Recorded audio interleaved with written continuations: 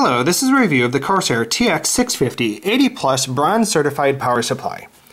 Now, I like the power supply for two reasons. One, flexibility and versatility. It has, you know, all of the power cable connections you're going to need, and then some. It's You don't need any wire adapters. Two, the wires are very nice and long. Three, they're plenty sturdy and not floppy, so when you put them somewhere, they stay there.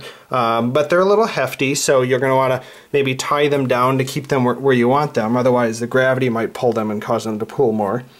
And um, the netting on the cable is quite nice. It keeps the, you know, obviously keeps all the little cables inside, but it's a nice anti-tangle material that doesn't want to get caught up in anything. And I particularly like the long runs so that I can keep the cables out of the way. Um, so you can see how, you know, I can not get in the way of the fan, let air come straight on through without letting the cabling obstruct the airflow going out to the top and the back of the case. So I, you know, for example, I have my motherboard connection there, and I can keep it out of the way. Um, but I didn't want to cause any stress on the motherboard. And this is a hefty cable, this main motherboard connection. So I definitely wanted to tie it down to my case so that it didn't um, didn't cause it to torque or bend downward. So this way, I got it here, and believe me, this is cable's very sturdy and strong. So it's not, you know, it's putting all of its weight here, and then it's just a straight connection to there. And similarly, the other motherboard connections over here, uh, what I did is I tucked it around the back of my fan here and here before it ran down here, and then this way they don't get in the way of any of the fan blades. So I like that it was long enough, but remember you're going to want to tuck them down so otherwise they're going to hang, and their heft of these cables might cause some torque on the ports that you may not want. Uh, but they're plenty long, and they give you all the connections that you'll need. For example, here's the PCI Express, if you have a video card that takes it. Here's the old Molex adapters. They give you more than these that you'll need um, because they also give you all of the SATA cable connections that are on all of your modern drives now. Now, honestly, it seems like every drive I bought for my new computer came with, um, they take a SATA power connection on the back, but they also always come with an adapter to to turn that connection into the Molex connection that was down there. So it renders these Molex connections rather unnecessary. But it was nice that it had that, meaning it has yet even more possible power connections for me um, if I have things in the future that might need them, so I don't have to buy Y adapters or anything like that. Um, the cable is fairly firm, so it's not dangly and loose. Um, it takes some bending to get into place. So when you want to daisy chain them, such as here, you see how I have these one drive stacked on another? That takes some bending. So, because it's not easy, you, you know, if you plug the middle of a cable in, um, you see how the, the wire goes down here and then keeps going down here? Um, you really have to bend this back in order to get this to go straight because it's not going to be natural for it at first. So basically you figure out where you want to you know you want to connect one of them. So, you know, I ran the cable up, make your first connection, and then you're going to have to do some bending to figure out how you want to get it to fit onto the next connection. And then bend it in place first. And you're really going to have to bend it because uh, it's a firm cable. It's not just this cable that seems like it's going to break after five bends. Um, and then you get into the nice U shape. And the nice thing is it stays there once you've made that. Um, it wants to bend back just a little bit.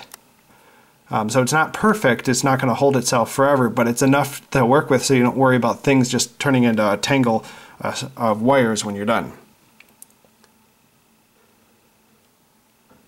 Now, the next thing is it's 80 plus bronze certified, and that has two main benefits. Is number one, you just built a new computer, and in the modern day, you don't want to be paying for power that you're not actually getting the benefit from. You know, so if it's wasting power, you know, you want to use power for the actual CPU cranking that you're doing, not just letting it be lost to heat or to vapor, you know, just losing, throwing power out the window, you know, so to say. Um, so my energy bills were plenty high. So I wanted one that I said if it if I am going to be using power, you know, I want to at least be you know for my computing power and not be wasting it.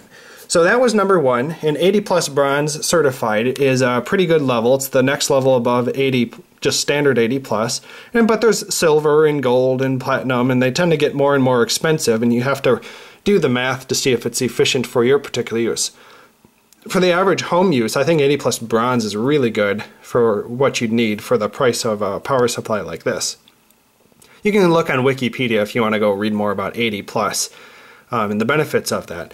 The second benefit of this is being at 80 plus is that where does that wasted uh, energy go? It goes out in heat.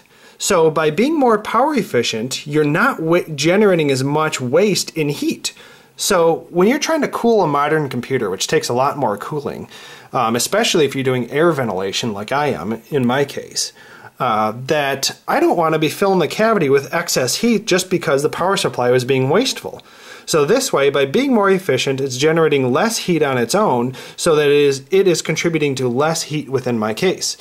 Now, when I'm looking at the, da the dashboard monitors of my uh, Intel motherboard, it's telling me that the heat thresholds within my computer at almost all times is at the very low end of the spectrum. So it's going to be due to multiple factors, you know, all the other devices in here, my SSD hard drive uh, that's used most of the time, you know, a CPU and so on that can be operating in more efficient modes, but at least the power supply isn't going to be contributing as much to being excess heat generated inside here. So I can at least affirm that it is not causing, you know, everything is seem, seeming on the low end, and so obviously this one is not causing excess heat in my case as well. So I'm really happy with it.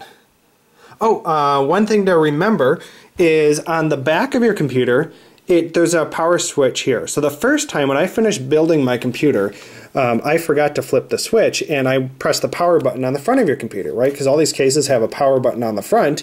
You press that and you're like, oh, it doesn't work. So the first time I thought maybe I messed something up. And it turns out I just forgot to flip, flip the switch on the back as well. Um, by the time you're connecting and you can't see underneath the desk, you just forget to flip the switch. Um, so just be aware of that on the back.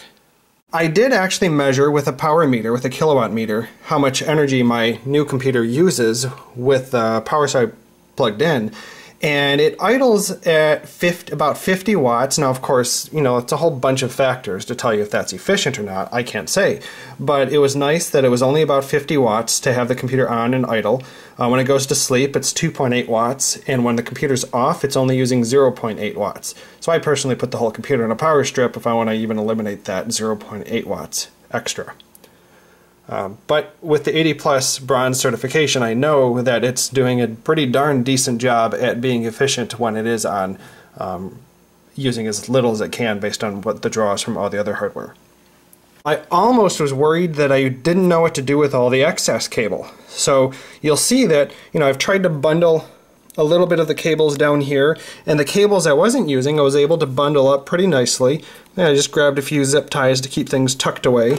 And with my case, I had enough room here that I could tuck them off to the side because I wanted to leave the middle open. I didn't want just extra bundles of cables tied here because, you know, you have the you have the fan in front. You want air to just come on through, come out your air holes through your drive cage as well. And I didn't want it to just be blocked up on this side with a whole pile of cables here.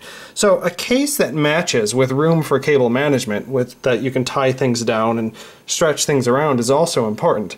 I'm happy that my case had some room here widthwise so that I could stuff my extra cables to the side. And this way I don't have anything on top of the power supply in case it gets warm at all. Um, I'm not worried about um, all the heat can just dissipate away and go out the case if needed. Thanks for watching the review.